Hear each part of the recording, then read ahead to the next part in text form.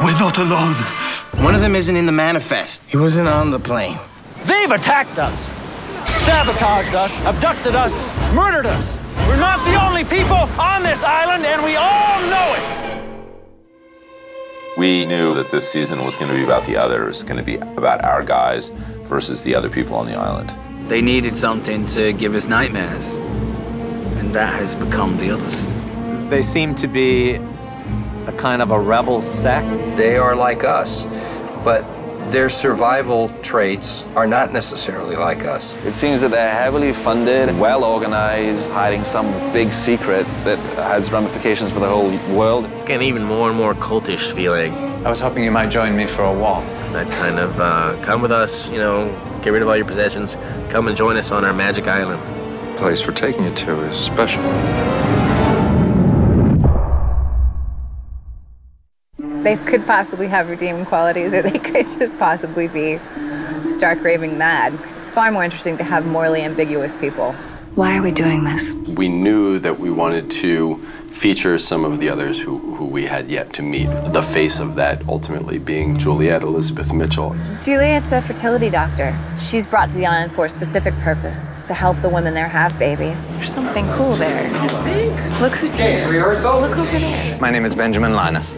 Ben is sort of the commander of the others. On the ground here in this place, he's sort of the last word. We sort of envisioned that there would be a number two. What we've discovered is that there's a group of number twos, and the idea that there are people under Ben, and not all of them are terribly happy with his leadership. Ben has been wasting our time. We're looking for someone to remind us that we're here for more important reasons. Alpert is the consigliere to the leader, and as such, plays a very important role in influencing the events of the others' lives. He's sort of the Dick Cheney of the island. That is to say, he was kind of in power for Bush Senior, and now he's instead he has no aspirations to be the president of the island himself. This is Ethan. He's one of my colleagues. It's a pleasure to meet you. Ethan's been creating a lot of problems for our castaways almost since the day that we arrived by infiltrating us. I've now officially shot more episodes since I died than when I was alive. Very, very happy to be back on the island. Mr. Friendly, MC Gainey. I'm a man of peace. Can't we all just get along? Here he was the most fearful figure in the program for so long, but now that he takes off the scary beard and everything, we kind of like him. She says she knows your beard's fake, Tom. Well, thanks for pointing that out, Kate. Now, I didn't know the beard was fake for four episodes. Okay. Then I get the script and they said they found my beard in a locker. I thought, okay, beautiful. Fits right in. Don't know what's going on. Hope I'm not interrupting. You two arguing over who's your favorite other? There are sort of good guys and bad guys inside the others community. And we were talking about Alex in that regard. I think that Carl and Alex are sort of rebel others. They go against the others' way of life and teachings. If I get caught, your father's gonna kill me this time. But there are also Ben loyalists. Miss Klugh is willing to do anything to protect the secret of the island. She would rather be killed than taken prisoner. Do it, Mikhail!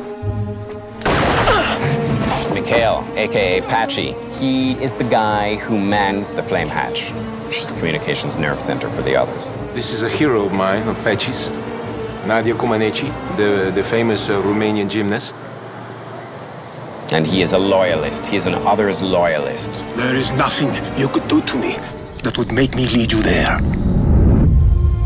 One of the things that we wanted to do in season three was explore some of the other Dharma stations that we referenced. And if people studied the map that was found in the hatch last year, this is a map to a place called the Barracks. The Barracks is sort of the official uh, name. That was the Dharma Initiative's name. But we, as the writers, like to call it New Otherton. And the others call it home. It's a quiet kind of a place, a place where people retire, raise their families, the schools are good. So once water is added to bicarbonate, we will get our very own volcanic eruption. Looks like any kind of mainland neighborhood, except it's actually like nestled in a valley surrounded by mountains on this, you know, um, mystical island. You two could have a tropical getaway here. It's a perfect suburban neighborhood where all the houses are painted exactly the same. These beautiful mustard colored bungalows. There's flowers growing and people having barbecue and someone cutting the lawn and people dressed in cool pastel colors with their hair and makeup nicely done. It's it's a little Stepfordish in a way, like Stepford summer camp really. There's always something fun going on, whether it's the badminton contest, the horseshoes, the book clubs. We have it all here. Okay, everyone into your positions. There's the undertone of something that's not quite right. It's different than, say, your average suburbia in California somewhere. That would happen to be things like surveillance cameras, speakers, and security lights. You wouldn't necessarily see that in your, your own comfortable neighborhood. And that's to give an idea, a very subtle idea, that there's something else going on behind the scenes here. All the places that the others inhabit or the places that they work in have a wonderful sort of science fiction, fantasy quality about them. Is this one of their stations, the, the Dharma Initiative? They called it the Hydra. This is our logo for the Hydra Station. Uh, it's basically uh, the Hydra, which was a mythological creature with several different heads. And so there's various different types of substations used for experimentation. The Hydra Station is basically the zoological station, which we've been alluding to since we saw the polar bear in the pilot. Let's finally go to this place where these animals were. We know that Kate and Sawyer were being kept in polar bear cages. Could I interest you in uh, possibly a fish biscuit? Our experimental island and uh, the cages that were our first six episodes was actually a theme park which had basically just run wild over the last 15 years. The production designers built a couple of cages and we painted a few Dharma logos on the wall and uh, we were ready to go. What is behind me is the exterior of the Hydra facility. When we saw this building, we just loved this kind of blocky 80s style architecture and this state of dilapidation. So it suited the look that we were after perfectly. Everything here is aged, industrial, and a little bit larger and a little bit unusual. So this was like the ideal place to kind of give off that sensation.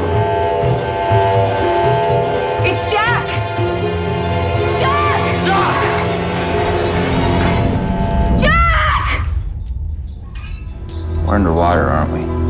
We know that the cage that Jack was kept in was used to bring in maybe sharks, and Juliet says dolphins as well. The concrete walls, the tile, the steel floor, the table that Jack is laid upon, and the harness all lend itself to feeling that, that uh, Jack is being held prisoner in a very dark space. Open no, the door. I can't. I can't, Jack. I do that, we die. An important conceptual thing to understand is that we're saying that this building behind us is where the operating theatre is and also where the cages are. And then another little subsection of this facility is where we have Jack's room and the surveillance room, which is meant to be below sea level. And then it had another complex of buildings off to the side. That's where room 23 was. Here it is! The Dharma Initiative was doing all these experiments on animals. So is that room that Carl was in for humans? Or what kind of animals were they showing those films to? Like, what was really going on there? That's our island. What, you didn't believe me when I told you before? We need a boat. We saw the Hydra Station Island on Rousseau's map in the first season. I think that's great because then fans can go back and go, hey, that was there from day one. That's kind of cool. And then, of course, we saw the Flame Station on another map. The Flame is really a communication station. Its purpose is to sort of be the conduit between the island and the outside world. I want detailed files on every single passenger. Already working on it? The others have all this information about our castaways, and Mikhail has sort of been kind of collecting it on their behalf. The basement for Flame was filled with documents, schematics, diagrams of significant others' installations, including the Looking Glass, which is really central and pivotal in the finale. The Looking Glass station controls communications between one world, the world of the island, and the world of the mainland. Can you hear me? Yes. Yes, I can hear you. It's a communication station, sort of like the, the other one, except that it's underwater. It's the station that emits the ping that leads the submarine back. And basically, it's the objective of the two women down there to jam all signals coming into the island. Ben doesn't want to get off the island, and he doesn't want anybody else to either. I want to go home. I want to go home, Ben. Please. Can't you please just let me go home? No. Juliet's impetus towards getting off the island is, is huge. The most important person in her life has no idea where she is. So she'll do anything to get off the island. Danny! Juliet seems to be a sort of instinctive warrior. Like she's this ninja genetic researcher. Rather than being cold, I think that Julia just disassociates when it comes to violence. Or when it comes to doing things that she has a true distaste for. So, where she got to be so technically proficient with a gun, I would like to know. Where she got to be technically proficient with her incredible right hook, I would also like to know. I'm surprised that people pay any attention to Ben because I think Juliet is the truly frightening character on Lost. And I, I think Juliet always thinks that she's trying to do good. Even if Michael Emerson says that I'm the scariest one. I, I have to say, he's definitely the scariest one. He's a master of the art and science of psychology. He sets up situations where the results he hopes for are inevitable. We had such a wonderful plan to break you, Jack. I think that any redeeming qualities that Ben might choose to show are only a manipulation to get what he wants to get. But I, I also get to tamper with sympathies too because he can be very earnest. I'm sorry. He's not who we thought he was. Clearly, Ben is a guy who wants to lead these people, but I think he really wants to be the leader of the others more for his own self aggrandizement than anything else. And I think Locke's arrival now is really threatening that. We are not going anywhere, John.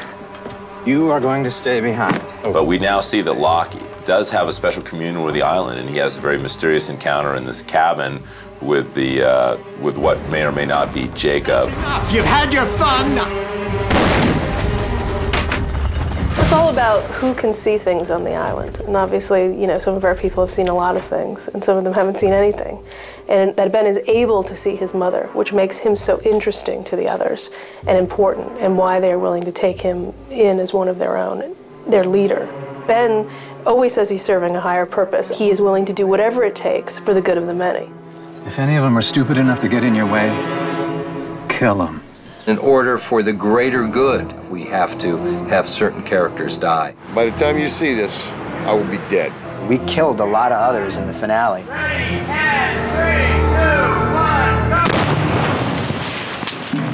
There was a lot of house cleaning going on. There's still a group that's moving for the temple, but Friendly is dead, and Isabel is dead, and Pryce is dead. You can Pickett obviously died earlier. Klugh is gone. Mikhail is dead. So, you know, in the war of us versus the others, we did pretty well in this sort of final tally. Tie him up. He's coming with us. I think we shouldn't forget the unsung others.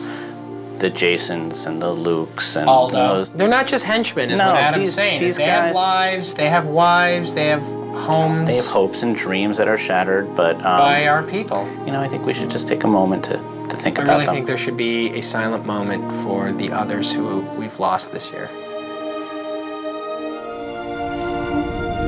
I think the others represent a different perspective, a different dynamic, if you will. I think that the writers have, in such a genius way, planted the question who is good, who is bad, what is right and what is wrong. They're just fighting for what is theirs. Depends on how you want to look at it. Whoever is coming to this island next, they're going to wish they had the others back. We were scientists and humanitarians compared to what kind of animals are coming next. People are really getting hurt now, and things are being done that cannot ever be undone. The survival of the island is now at stake.